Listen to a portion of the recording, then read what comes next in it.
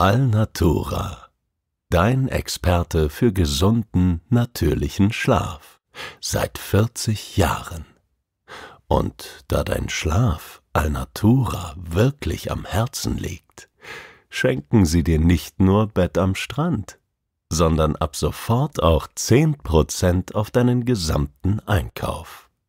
Tu dir was Gutes mit dem Code STRAND. Alnatura. Natürlich mit 2 L.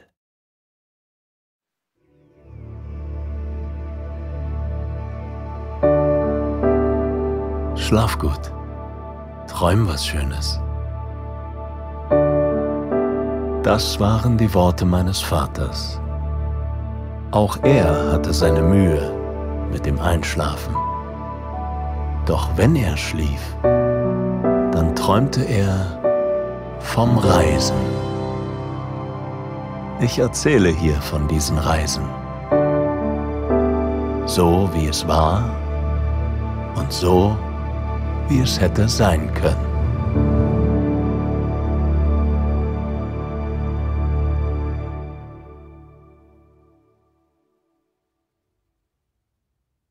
Eingekuschelt in eine mummelig warme Daunendecke liege ich in meinem Bett und betrachte die ungewöhnliche Wanddekoration meines Zimmers.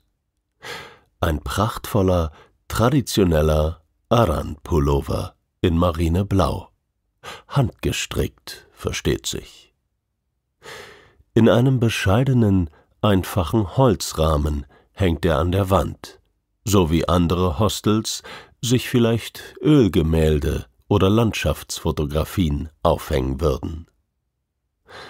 Das Kleidungsstück sei ein wichtiger Teil der Kultur der Aran-Inseln, hat mir die Besitzerin des Inishmore Bed and Breakfast gestern bei meinem Zimmerbezug erklärt, während sie mit der Hand über das feine Strickmuster strich. Ein fertiger Pullover bestehe aus über hunderttausend einzelnen Maschen, das müsse man sich mal vorstellen. So eng seien sie miteinander verwoben, dass der Stoff nicht nur vor dem rauen Wind schütze, sondern mit der richtigen Stricktechnik sogar wasserabweisend sei. Und so muss das auch, denn der Atlantische Ozean bringt oft genug erbarmungsloses Wetter an die kleine Insel an der Westküste Irlands. Ich schließe ein Auge und halte meinen Zeigefinger vor das andere. Mit der Fingerkuppe versuche ich, den Faden des Pullovers durch sein verschachteltes Labyrinth zu verfolgen, zeichne die kniffigen Kreuzmuster nach, das elegante Auf und Ab der Wollschnur. Der Stoff Erzähle eine Geschichte, hat die Besitzerin mir zugeraunt, eine Geschichte von stolzen Traditionen, harten Lebensbedingungen und einer Handwerkskunst, die von Generation zu Generation weitergegeben wird. Die Muster bestehen aus einzelnen Elementen, und jedes Element habe seine eigene Bedeutung, schon seit den Zeiten der alten irischen Clans. Das Kleidungsstück sage so einiges über seinen Träger aus. Mit dem richtigen Blick könne man das Muster lesen wie Hieroglyphenschrift. Ich ziehe die Bettdecke unters Kinn und strecke genüsslich meine Zehen aus. Ich wäre schon lange auf den Beinen, wäre die Matratze nicht so traumhaft weich. Und doch spüre ich ein leichtes Kribbeln in meinem Körper. Die Vorfreude darauf, heute die Insel mit dem Fahrrad zu erkunden. Der verlockende Duft von gerösteten Kaffeebohnen steigt mir in die Nase, und ich nehme einen tiefen Atemzug. Den Bed-Anteil habe ich nun genug ausgekostet, jetzt fehlt nur noch das Breakfast und die Aussicht auf einen frischen Kaffee macht das Aufstehen doch gleich viel einfacher. Während ich mich anziehe, fällt mein Blick immer wieder auf den Pullover an der Wand. Die unterschiedlichen Blautöne, die Licht und Schatten in den Stoffwölbungen erzeugen, sehen aus jedem Winkel anders aus. Wie stillstehende Meereswogen. Er hat fast etwas Erhabenes an sich, wie er eingerahmt an der Wand hängt. Ein jahrhundertealtes historisches Erbe. Ob ich ihn wohl anfassen darf? Es fühlt sich verboten an, wie einem Museumsstück zu nahe zu kommen. Stattdessen packe ich meinen Rucksack, Sonnencreme und Cappy, aber auch meinen Windbreaker für alle Fälle. Ich überlege kurz, werfe nochmal einen Blick aus dem Fenster und entscheide mich, meinen Tag im kurzärmeligen T-Shirt anzutreten. Die Sonne strahlt mir vertrauenserweckend entgegen. Als meine Hand schon auf der Türklinke liegt, kann ich der Versuchung doch nicht widerstehen. Ganz schnell, so als könnte genau in dem Moment jemand durch die Tür kommen, fahre ich mit der Hand über den Pullover. Es ist noch besser, als ich erwartet hatte. Hochwertige Schafwolle, so weich, so zart, so geschmeidig, dass ich einfach nur darin versinken möchte. Wie eine warme Wolke aus fluffigen Fäden, so als hätte jemand eine Extraportion flauschige Liebe in jede Masche gesteckt. Ich schließe die Augen. Wie es sich wohl anfühlen muss, so ein Kleidungsstück anzuziehen. Es fällt mir schwer, mich von diesem Gefühl loszulösen, aber der Tag hält noch so einiges bereit. Vielleicht erzählt mir die Besitzerin ja heute Abend ihr Strickgeheimnis. Fast drei Monate hat sie an diesem Pullover gearbeitet, meinte sie gestern, und tatsächlich sitzt sie auch jetzt mit Stricknadel und Faden am Esstisch, als ich die alte Holztreppe hinab in die gemeinsame Küche des Bed and Breakfast komme. Sie blickt auf, ich grüße freundlich. Sie hebt drohend den Zeigefinger, dass ich mir ja nicht einbilden solle, ihr Haus ohne ein ordentliches Frühstück zu verlassen, knurrt sie in breitem irischen Akzent. Ich lache und gebe mich geschlagen. Schnell ist die Pfanne auf dem Herd und der Kaffee in der Tasse. Klassisches Irish Breakfast mit gebackenen Bohnen auf Toast, dazu frisch gebratener Speck und ein brutzelndes Spiegelei, gebratene Pilze und Tomaten und eine kleine Schüssel mit schwarzem Pudding. Ich nehme Platz an einem liebevoll gedeckten Tisch und weiß gar nicht, wo ich anfangen soll. Die Besitzerin steht neben mir und beobachtet mich mit strengem Blick, dass ich auch ja alles aufesse. Was nicht weiter schwer fällt, denn sie ist nicht nur ein Genie mit der Stricknadel, sondern auch eine Meisterin im Würzen. Die feinen Noten von Kümmel, Dill, Petersilie und Thymian vermischen sich in meinem Mund zu einem Geschmacksspektakel. Ich tunke die letzte Scheibe Brot in den Rest Eigelb und lehne mich mit einem zufriedenen Seufzer zurück, genieße den würzigen Nachgeschmack. Meine Gastgeberin nickt, auch sie ist zufriedengestellt. Sie setzt sich zu mir an den Küchentisch und breitet eine Landkarte der Insel aus. Mit quietschendem Filzstift markiert sie das Bed and Breakfast und beginnt dann eine Route entlang der Küste zu zeichnen. Auf meiner Radtour müsse ich unbedingt einen Abstecher zum Wurmloch machen. Was genau dieses Wurmloch jedoch ist, verrät sie mir nicht. Nur, dass ich es nicht bereuen werde. Sie faltet die Karte, drückt sie mir in die Hand und reicht mir meinen Rucksack. Als ich ihr anbiete, den Abwasch zu übernehmen, scheucht sie mich zur Tür. Das Wetter ist perfekt zum Radfahren. Ich atme die rohe, salzige Seeluft ein. Vorfreude auf den kommenden Tag durchströmt mich von der Schädeldecke bis in die Zehenspitzen, und ich kann es kaum erwarten, endlich loszulegen. Meine Gastgeberin holt ein hübsches Retrorad mit rotem Rahmen aus einem Schuppen, und ich schwinge mich in den Sattel. Die Kette ist frisch geölt und der Lenker auf perfekter Höhe. Schon mit den ersten Metern weiß ich, dass das Rad und ich Freunde werden. Ich trete langsam in die Pedale und genieße die Morgensonne auf meinem Gesicht. Das T-Shirt war die richtige Entscheidung. Sonnenstrahlen streicheln sanft über meine Arme, genau die richtige Temperatur. Die Windrichtung stimmt auch. Für meine erste Etappe gibt es Rückenwind.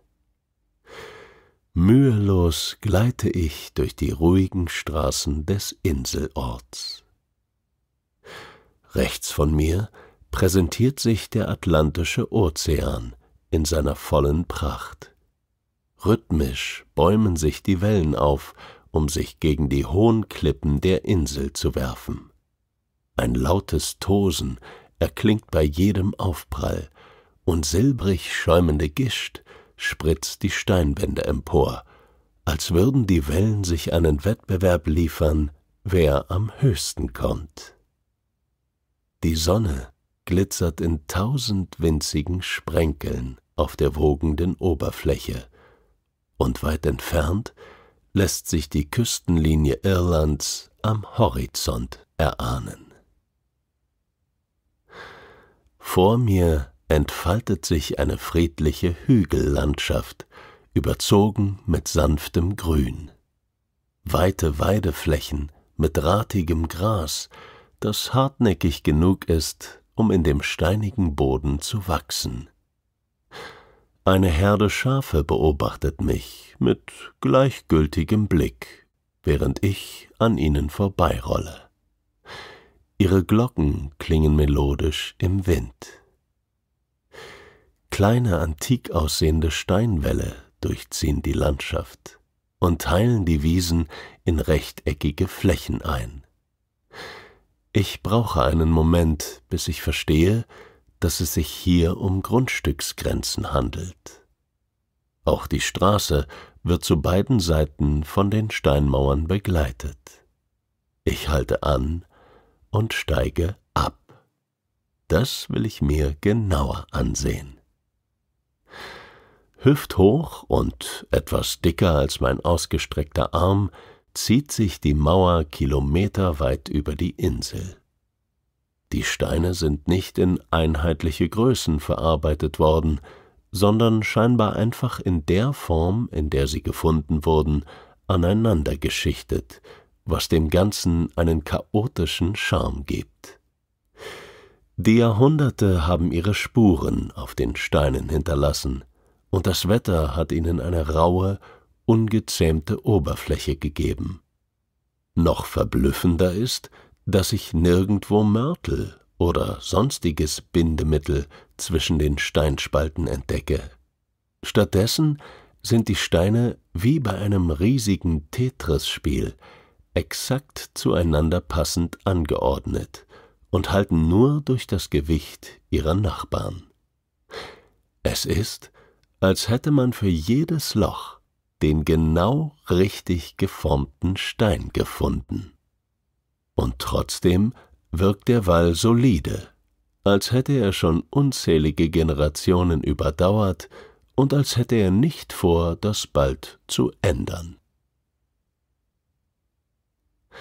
Ein Blick auf die Karte meiner Gastgeberin verrät mir, dass es nicht mehr weit zum Filzstiftkreuz und somit zum geheimnisvollen Wurmloch ist.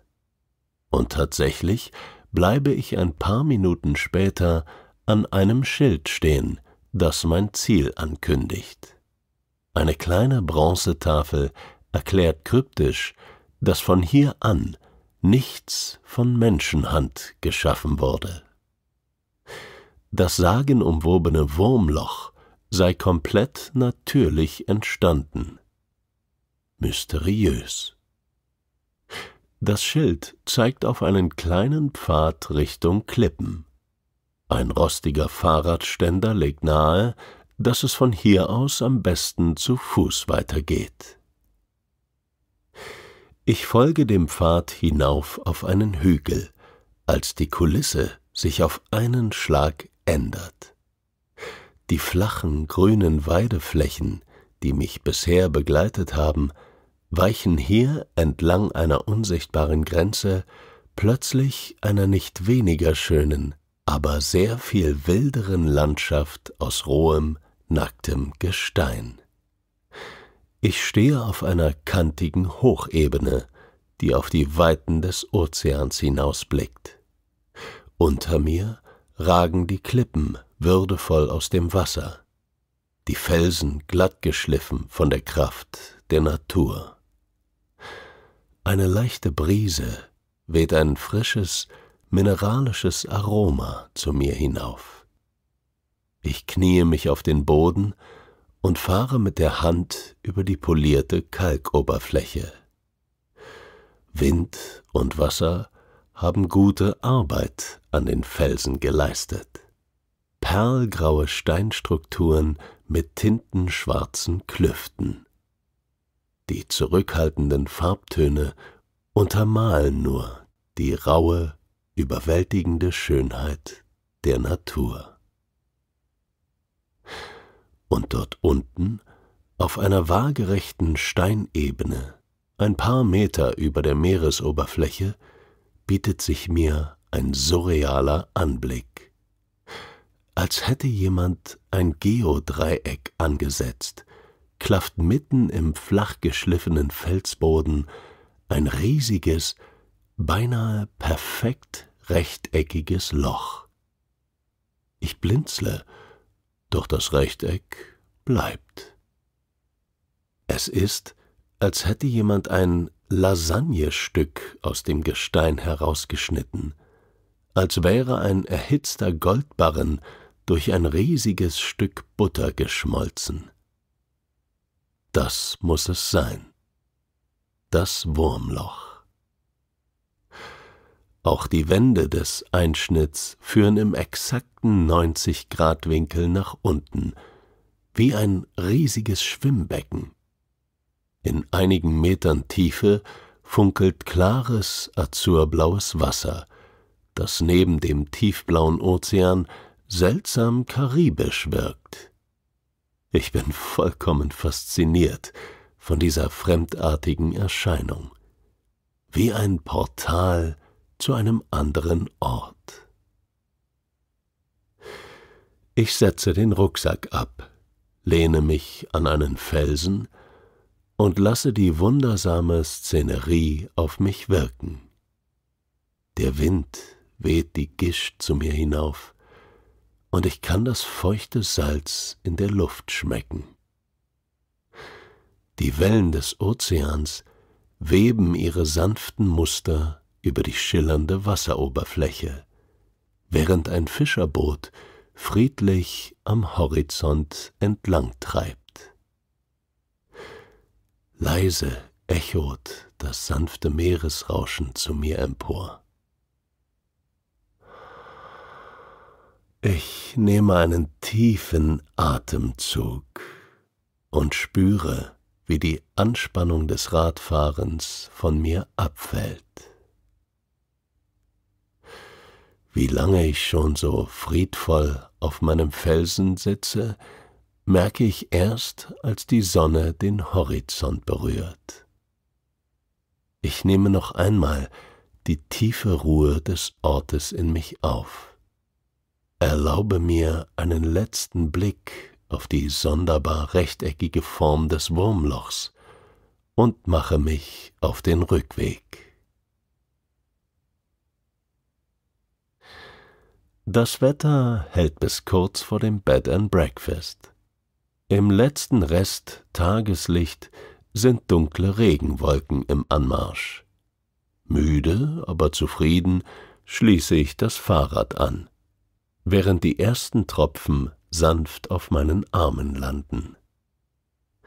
Ich ziehe den Kopf ein und eile ins Haus. In der Sekunde, als ich die Haustür hinter mir schließe, beginnt der Regenschauer. Dicke Tropfen trommeln dumpf gegen das Küchenfenster, während ich mir die Schuhe von den schweren Füßen ziehe. Ein Feuer prasselt im Kamin. Auf dem Herd stößt ein Teekessel leise Dampf aus. Von der Treppe kommt mir die Besitzerin entgegen. Ob ich nass geworden sei, fragt sie.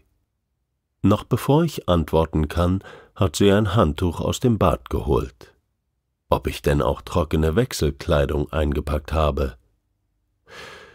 Dass der Regen mich kaum erwischt hat, will sie gar nicht hören. Sie wisse da schon was, ich solle mir keine Sorgen machen. Sie eilt wieder die Treppe hinauf, und ich bin zu müde, um zu diskutieren. Ich lasse mich in einen Küchenstuhl fallen. Es war ein guter Tag, ein schönes Abenteuer. Und jetzt spüre ich die wohlige Schwere in den Beinen.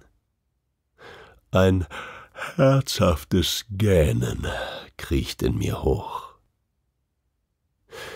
Nach ein paar Scheiben Toast gönne ich mir eine lange, warme Dusche. Das Wasser streicht beruhigend über meinen Körper. Mit langsamen Kreisbewegungen schrubbe ich den Salzgeschmack des Tages von meiner Haut.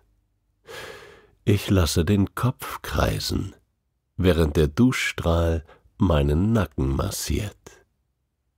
Beine und Arme werden schwerer und schwerer als ich merke, wie meine Augen langsam zufallen, drehe ich den Strahl ab. Das warme, weiche Handtuch schmiegt sich wie ein Kissen an mein Gesicht. Als ich das Licht in meinem Zimmer anmache, spüre ich trotz aller Müdigkeit ein seliges Lächeln in mir aufsteigen. Auf meiner Bettdecke liegt ein moosgrüner Aran-Pullover. Ganz langsam setze ich mich auf die Bettkante und fahre mit der Hand über den Stoff. Die Wolle schmiegt sich an meine Haut. Ich ziehe den Pullover über mein Schlafhemd und seufze. Ich schließe die Augen. Der Stoff riecht nach Lavendel und Geborgenheit. Vorsichtig ziehe ich den Pullover wieder aus und krieche unter die Bettdecke während der Regen draußen leise gegen die Fensterscheibe trippelt, werden meine Atemzüge tiefer und tiefer.